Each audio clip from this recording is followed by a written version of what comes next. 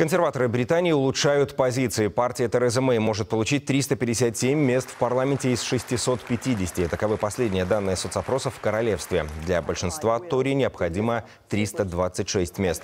Аналитики, впрочем, отмечают, что консерваторам рано расслабляться за неспособность предотвратить серию терактов в Манчестере и Лондоне. Их критикуют лейбористы.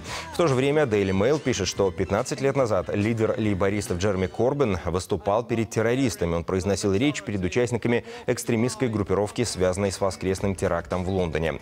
Досрочные парламентские выборы пройдут в королевстве завтра в условиях повышенных мер безопасности.